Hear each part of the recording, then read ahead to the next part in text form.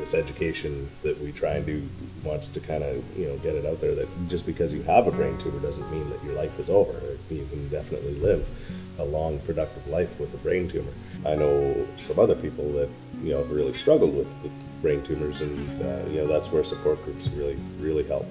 Uh, you know, you definitely have to investigate some sort of support system.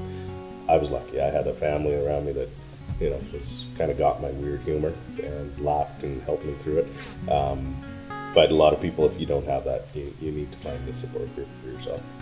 My name is Norm Mulcahy. I'm a radiation oncologist at uh, Princess Margaret Hospital and uh, head of the site group for central nervous system tumors and the co-director of the Gamma Knife Center at uh, University Health Network. Uh, my name is Dr. Mojgan Hodaie. I'm a neurosurgeon at the University Health Network and I'm currently the surgical co-director of the Gamma Knife uh, Radiosurgery Center at the Toronto Western. So there's there's two terms to be started out here. The first term is radiosurgery, and what that means is is a combined neurosurgical radiation oncology approach with the application of a frame and then imaging in the treatment position and then targeting with some form of radiation whatever the target has to be in a single day session. So that's the term radiosurgery. The term gamma knife or CyberKnife or linear accelerators are different uh, technologies that can deliver that single large dose of radiotherapy to the target. And so that uh, gamma knife radiosurgery, CyberKnife radiosurgery, or LINAC based radiosurgery are really all referring to the same process. So with Gamma Knife, uh, at the time of the treatment, patients really don't feel anything. They're being simultaneously treated with 192 small beams, all focusing on that one point in space, which we make sure with our targeting um, um, methods to place that at the center of the, uh, of the 192 cobalt sources, all pointed at that one point. So during the treatment, the patients feel nothing other than potentially boredom. But we actually encourage them to bring their own um, DVD or CD that of their, their, their personal music. We have a lot of selections, and they can listen to that while they fall asleep during treatment.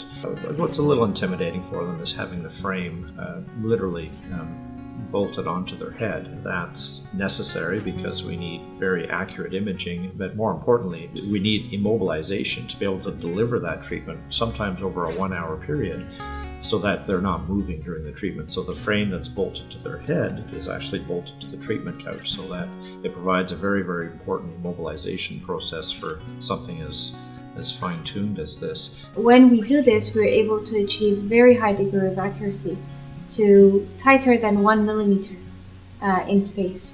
So this permits very, very uh, defined treatment uh, in the brain in tiny areas. So we use it obviously for benign tumors, especially in, in locations that are rather tricky or difficult to get to. So this is the best way we can ensure that with uh, radiation, and that is at times superior to what we can do with an op open operation. So Gamma Knife has the frame, whereas the other ones have a variety of different methods of stabilizing the head, but they cannot achieve that degree of accuracy that a frame can. There's some discomfort putting the frame on. It's, uh, you know, obviously there has to be four um, uh, local anesthetic injections at the pin sites, two at the front and two at the back, so that if anything is, it, there's always a bit of a bee sting as the as the numbness uh, sets in within a second of doing the injection. But beyond that, it's more of a feeling of tightness uh, when they're wearing the frame, and rarely is, a, is it a painful issue wearing it. Afterwards, obviously, there's the potential risks for delayed effects. Occasionally, patients may have a headache or uh, feel slightly nauseated uh, within 12 to 24 hours of the treatment, but that's quite uncommon actually. Most often, though, any potential uh, serious complications will occur anywhere from 3 to 6 months to 18 to 24 months out, and that is uh, largely related to where exactly we're giving the treatment. So, if it happens to be a, a tumor of the hearing nerve called an acoustic neuroma, then clearly uh, it's very adjacent to the facial nerve, which moves the face, and so there's a 2 to 3% chance that there might be some weakness of the face. Or uh, if it's on the hearing nerve itself, then of course there's a chance that there might be some decrease in hearing over the ensuing few years after this treatment. The, the key thing about the gamma knife is that the method of the delivery of radiation uh, is different and therefore the effect on the patient is also different.